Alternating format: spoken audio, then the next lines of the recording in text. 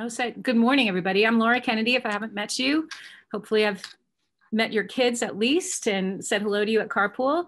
Um, very happy to be here. Very happy to be at school. Kids are happy, engaged.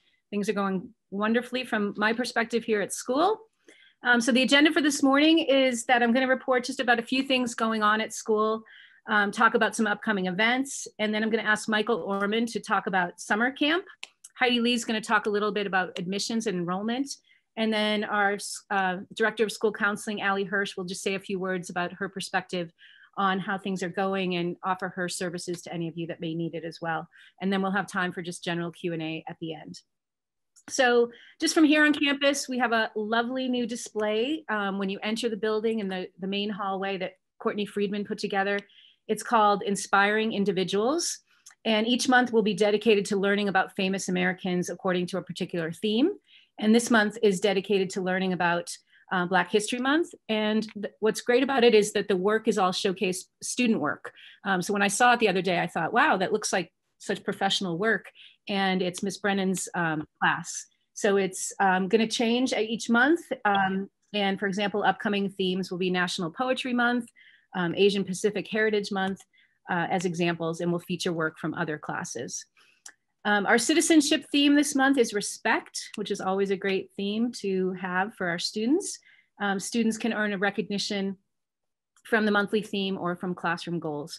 And I've really enjoyed getting to know your kids as they come to my office and they sign this citizenship book and it's full of, full of signatures from way back. And then they get a card that gets mailed home if they receive good citizenship.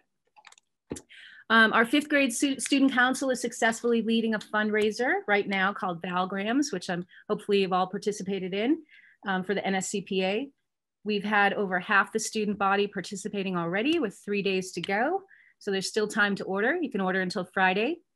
Um, one thing to note is we're making sure that every single student receives at least a couple of Valgrams. So nobody's, you don't have to worry if you don't participate. Every student will go home with a bag on February 12th, courtesy of um, of some of the faculty and Mr. Gregerson.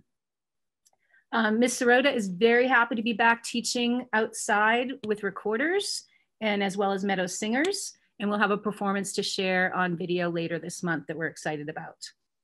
Um, and speaking of performances, there's a collaboration between kindergarten and fifth grade to produce a version on video of a traditional Meadows event, um, Chinese New Year, songs and a parade so look for that. That'll be sent out for viewing on February 12th. It's been fun to see them recording right outside my office. Um, so I'm excited to see that performance. Um, we have a couple of spirit days coming up. So this Friday will be sports team spirit day in honor of the Super Bowl. Um, and then we will also have Lunar New Year and Valentine's theme uh, spirit day coming up as well next week. Looking ahead, spring parent teacher conferences. I can't believe it's that time already, but it's scheduled for right before spring break, March 25th and 26th. Um, and I know some of you are already starting to think about next year. I just want to remind you that as of last year, we do not take parent requests for teachers. I really trust the teachers to work really hard to create balanced classrooms for the next grade level that includes a mix of all three classrooms, current classrooms. The exception is kindergarten, I'm definitely open to younger siblings having the same teacher as their older sibling. I think that makes a nice transition into a new division and new building and ha to have that familiarity. Um, also looking ahead to next year, we're not making any big curricular changes, but we'll be making some small tweaks, such as updating our K-1 literacy program, also in conjunction with beginning school, to include a more comprehensive approach to phonics and updating some of our literature.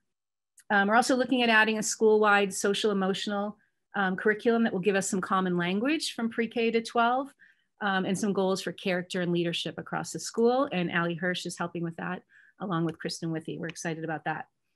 Um, and the last thing for now, um, parents who are new to the Meadows this year, we're gonna be holding a parent Zoom next month um, with the admissions team to hear about how you and your child's experience transitioning to this school um, what worked and what, what can be improved for next year. So look for that invitation if you're new.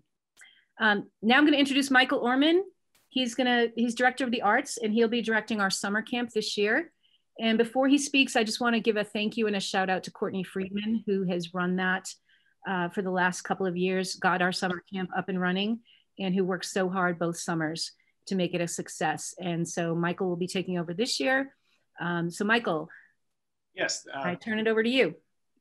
Uh, so yes, I, am excited to tell you about our summer programming. This year, we are we are fortunate that you know even given the circumstances of COVID, we have we have we have been successful at running a, a, a in-person school experience for you know the past six months now, um, and we we are confident that we we can then now uh, provide a summer program that is comparable to the, the rich experience that the, your students are getting during your day in school. So we are looking to expand our summer programming. We, we will be uh, releasing uh, our full summer catalog, hopefully in the next uh, two weeks to the broader community. But what we are looking at prior to this year, we have had a, a summer program that really was weekly themes uh, set up so your children would come prior prior to the they would come uh, have a week theme. Uh, the experience was was similar for the majority of the students, uh, and what we are looking at now uh, is a more content specific camp. So students and parents will actually be able to sign up for specific camps that are their interest in, in certain weeks. So for instance, we will be having a 3D printing camp, a robotics camp, uh, tennis specific camp, uh, a variation of sports. Uh, then we're going to have different kinds of fun, uh, fun camps based around skills, activities. For instance, we're going to have a lemonade entrepreneur camp. Uh, so all of these experiences that your students will then get to choose and sign up for. What and what it allows us to do is is you know hone in on on opportunities and give experiences to the students that, that, that are specific to their interest. Um, it is going to be an eight week long camp starting on June 1st. We will have, uh, we'll have camp basically right after school starts, or school ends. Uh, we will go for the rest of the summer into the end of July. We will be taking the, off the week of July 5th. But uh, other than that, we will have different camps offered every single week of, uh, of June and July but we're very excited to talk about it. Um, I would once the the the catalog is released, you'll you'll be receiving more information about how to sign up, what are the what are the costs, and and go from there. But again, very excited about expanding our, our camp offerings and providing a, a, a broader experience to our students. Thank you. Great. Okay, thank you, Michael. Um, next up, I'm going to introduce um, Heidi Lee from our advancement slash admissions department. She's going to be talking a little bit about re-enrollment in our current admissions year. So Heidi, over to you. Uh, um, I just want to let everybody know. So re-enrollment will start on Monday, uh, February 8th. Everyone will be emailed contracts. Uh, so look out for that in your email. But in the meantime, over the next few days, if you could go into your My Meadows portal and update any information that may have changed, addresses, um, making sure your family members are listed, um, email addresses especially, but that information is really helpful as the system pulls the information down for the contracts that will be sent out. Um, and those will be due uh, with your deposits on February 19th. If you have questions or um, you know need any uh, help, please let us know. Um, regarding My Meadows, um, you can reach out to uh, Judy in the main office and she might be able to direct you in the right direction if you're having trouble getting onto your My Meadows portal. Um, regarding admissions, we are having one of the busiest admissions years the school has seen in a very long time. Um, it's really exciting. Uh, Mr. Gruber and I are overseeing some things. We had uh, a change in our office. And for those of you who haven't heard, um, Ms. Orsini has recently left the school. She moved to Wyoming to be with her husband. And um, Mr. Gruber uh, is serving um, in an interim role this year to help us out. Um, and we are have been doing tours every Saturday, um, pretty much since school has started. And they've just recently become uh, probably one of the most popular things we've seen. Uh, Mr. Orman's been helping, Ms. Hirsch has been helping. It's kind of an all hands on deck with the tours and welcoming prospective families to the school. Um, with that being said, uh, it's exciting to see new people, um, but we love our Meadows family. So we want to make sure that everyone is captured um, with re-enrollment. And like I said, if there's questions, please email or call me um, and we're happy to you know, put you in the right direction. Um, Saturday, for those of you who have friends who are looking at the school or thinking about the school, please tell them to please get their applications in immediately. We have um, for every spot we have, I want to say we have anywhere from seven to eight applications, depending on the grade level. Um, so please have them get their applications in. Um, kindergarten assessments for outside students will be this Saturday. Um, Ms. Kennedy and her team will be uh, doing those. Um, and for those of you who haven't done the admissions process in a long time, um, for the first time in a long time, we're doing a standardized testing called the ISEE, I-S-E-E, um, for grades two through eight. Um, and that information is on our website as well as the ISEE website. But, um, you know, as I said, if there's questions, please let us know. But um, it's an exciting time. We're seeing a number of folks, not just locally, but from out of town who are moving here. So there's a lot of interest in the Meadows and it's uh, because of your great word of mouth that we're hearing that. So thank you for that. And thank you for being part of our community. Thank you, Heidi. Yeah, it's exciting to be a part of this um, record admissions year. And uh, a lot of my time and energy the next month is going into that and this important decision. So thank you so much, Heidi. Okay, I'm going to turn it over to Allie Hirsch, our Director of Counseling, who's spent quite a bit of time in lower school meeting with kids, doing classes, and just kind of talk about some of your thoughts on how the school year is going, Allie, and um, anything else you'd like to share. Yeah, hi everybody. Great to see so many of you. Um, definitely missing having the sidewalk and uh, sports games conversations with all of you. So we know we know next year is gonna. What we do know is we'll have more chances for sense of community next year. But while we're in this tough um, end of the semester, I'm end of the year, this semester we're really trying to um, think of ways to build community um, as the weather gets better. And so I just want to talk about a few ways that um, with this fabulous team of working with Laura and Heidi and, and Michael and Claude, we've been able to, well, and everybody else at school, we've been able to try to instill a sense of community, community even though we're pretty isolated um, in, in some ways. Um, so first, Laura mentioned this, but is the physical building of the lower school. Um, there's a really wonderful uh, display, which maybe Laura's mentioned before on coffees, that is kind of a challenge of the week. And so it's a way for students in every grade to interact with kind of a fun higher level thinking question. And it brings the school together because, you know, you can hear the kids talking about, you know, do, you know, talking about the different theme. I don't know what it is this week, Laura. Do, what is our theme? It's athletes this week. Ah, so oh gosh, yeah. a little bit of a Super Bowl focus. So. nice. So um, everybody gets, uh, you know, there's some animal questions. There's all sorts of, of little um, challenges and thinking questions, and it's a really great way to um, bring kids out of the classroom in a kind of creative way. So thanks to Laura for coming up with that and helping the kids establish that sense of place at school. Um, the other, you know, the inspiring um, people wall is going to be wonderful. It really will just add this positive feeling for students when they walk by and, you know, talk about establishing mentors, which again, when you're feeling stuck as parents, when you're feeling stuck, if you're, if your young person is ever saying, this feel this pandemic feels like it's forever, when will it be over? A real healthy tip is to think about, okay, what would be your dream day if you had a magic wand for a year from now? And let them let them explore what their what their future magic wand day would be. Um, so also, I, it's not up yet, but we're working on a mindfulness wall too that can be interactive for the students, for them to take a minute to breathe, to take a minute to uh, say something they're grateful for. So again, trying creative ways to bring this sense of play and fun and joyfulness for our students um, in this unusual uh, year. Um, in terms of our uh, programming, um, Miss Kennedy mentioned I'm, I'm in classes a lot, whether I'm um, working with the teacher or just popping in to say hi. I, you know, this is my third year, year here. So many of the students I've known from recess and it's, it's really nice to see them growing up. It's, it's, it's what it's amazing.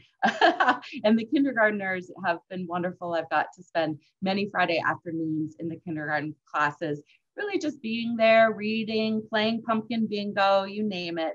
So it's been a fun way. And I'm, as Ms. Lee mentioned, Heidi, I'm also helping with the kindergarten um, screening and testing, which is just a joyful part of, of this job. Um, but in terms of after school programming, we're hoping that as the weather is nicer, Um, and as our upper schoolers need a lot of service hour as, as well as a sense of connection, because our high school students are feeling a little bit isolated as well. Miss Dr. Withy and Laura and I are, uh, and Miss Whipple, the other middle school counselor, are working on ways to um, have our lower school students and upper school students have mentoring relationships, play games, do activities, do arts. And once, I mean, I think we're in spring now, right? So soon enough, we um, are going to be rolling out some after school op opportunities for grade levels at this at this time. Um, and so stay tuned for that. And again, that's that's my most favorite joy is being able to help you, your families, um, providing some, you know, extended after school time for students in a in a more relaxed and fun setting than um, not to say that classroom work isn't fun. Of course it's fun. but last year we did a cooking and crafts class that we're looking to revive as soon as we can. Maybe just the crafts, um, not the cooking. That seems a little risky these days. Um, and then really, I just wanna say um, last month's uh, theme was teamwork. And really, this has been a year of teamwork like no other.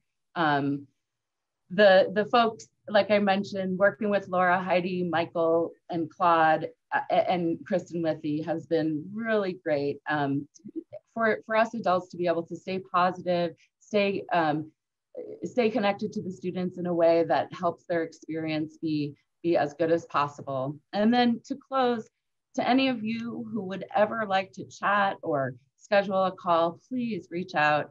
Um, I my my first my, my first promise is to you all as families, if you ever want to talk out something, if you ever are have a tough decision or a pattern of behavior, please um, send me an email, give me a call, and we can chat anytime you want. I can put my email in the chat. Um, no, I can't, but it's ahirsch at themeadowschool.org, Allie Hirsch.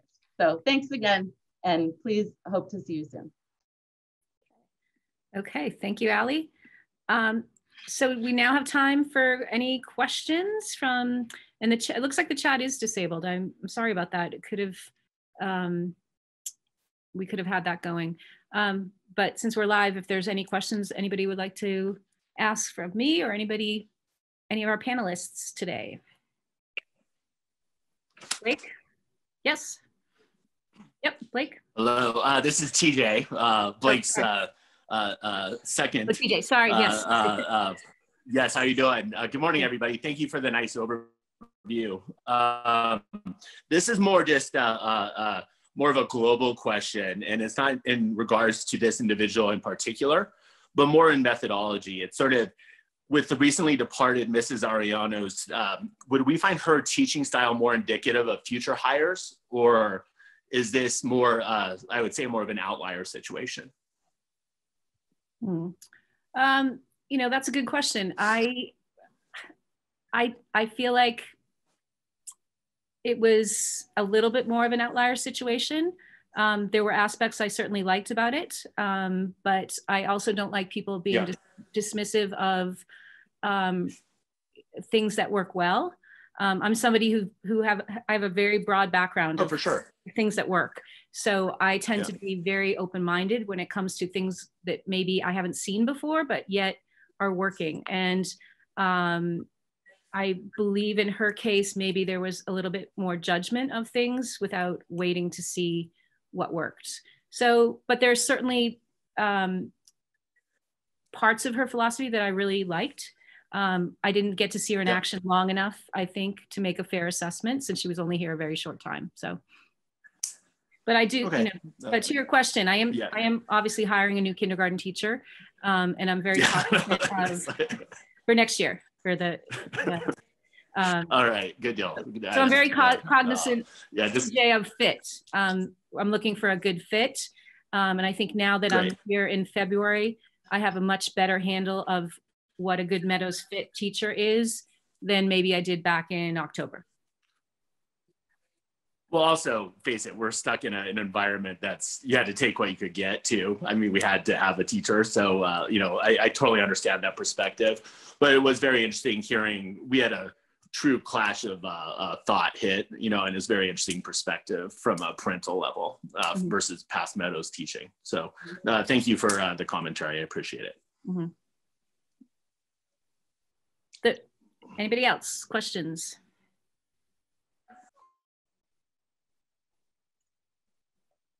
I have a question. Ms. Kennedy? I'm having trouble seeing who's speaking. Let me move to the next page. Now? Yes. Can you see me? Uh, Michael, can you, you're. I, I can see, yes, I can see it. I'm sorry, I can't really maneuver the. Oh, I'm sorry, here you are. Yes, Val, see, I see that, yes. Um, I have a question about if you could give me a little bit more information about the tours that you're having on Saturday. Like, how does somebody because we we have some a friend of ours actually um, they we work with them and they were interested in the meadows so i kind of i know people are talking about it and i was surprised that you're having saturday tours. So how does somebody find out about that and does it have any weight that as a you know a parent um, already? Do we have any weight on helping them get in or referring them? How does that work? And could you give me more information about what i could do to get them started Sure. Um, so the Saturday tours um, are done. Uh, people have been doing um, application inquiries on our website on the admissions side of the website. And so when they do that, um, we reach out and we schedule Saturday tours. Um, they're right now they're at 9 a.m. and 10:30, and they're small groups, um, no more than you know 10 folks at a time. And we do the masking and social distancing. and the for the lower school, we start in the beginning school because we usually have a mix of pre-K and a lot of K and some you know of the other older grades. Um, and we do a tour of um, the beginning school, the lower school, uh, the Center for Fine Arts, and our athletics facility for that division. So they get a full sense of what the Meadows is. Um, and as far as weight, um, we would put that in the file so that, that we know that you as a current family um, has have recommended them and that would go into the process when we're sitting down um, with our admissions committee for the lower school or whatever division they're looking at so that it would be in the file so that we're aware of that. Okay, but, and then yeah. And then when when do they like after the the Meadows family gets kind of enrolled and everything? When does the testing start? When does when do you make your decision? You know, what's the final date? I guess of when you can accept applications up until what date, and then when do you make your decisions on those? So um, we as a school up until this year have been kind of on a rolling basis. So it was kind of if you applied, we'd look at your application at a time. Um, this year, because we have so few spots. Um, we're going to wait and see until uh, we're going to wait and make some admissions decisions until after enrollment is done. So that would be re-enrollment is done on February 19th.